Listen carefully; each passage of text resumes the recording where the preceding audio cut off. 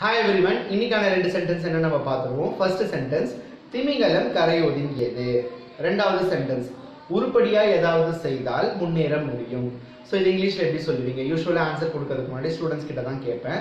Students முதல் கேள்விக்கு திமிங்கலம் கரை ஒதுங்கியது. இது இங்கிலீஷில் எப்படி சொன்னாங்க அப்படின்னா whale came to the border of the sea அப்படின்னு சொன்னாங்க. இது கரெக்டாக தப்பாக பார்க்க தேவையில்லை. இதை ப்ராப்பராக எப்படி சொல்லுவாங்க அப்படின்னா the whale was ashore the whale was ashore ரெண்டாவது சென்டென்ஸ் உருப்படியாக ஏதாவது செய்தால் முன்னேற முடியும்.